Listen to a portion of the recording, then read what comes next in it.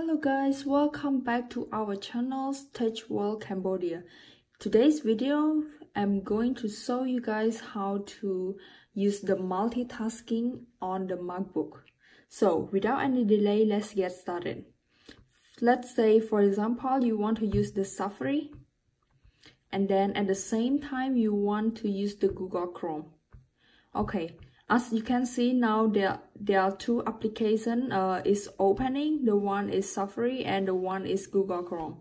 But you want uh, these two applications to uh, to be on this whole screen and uh, i mean like to be multitasking. Okay so let's get started as you can see the green button here this one.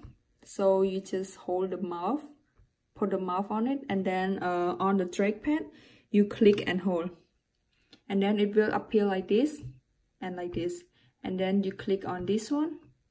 And yeah now uh, it's divided into two which is like on one screen but into two.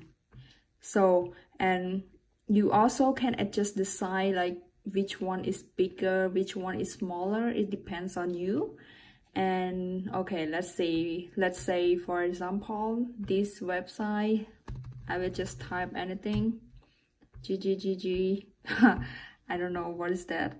And then this side let's say translate google translate. Okay. So as you can see now for example if you want to read a book on some website here so um, at the same time you can use Google Translate without uh, open the new window or whatever. So this is so convenient okay? So and you can also adjust the size. Um, and yeah so thank you so much guys for watching and um, if you enjoy this video and think that it is helpful please um, share and um, don't forget to subscribe to our channels. And i will see you guys in the next video. Bye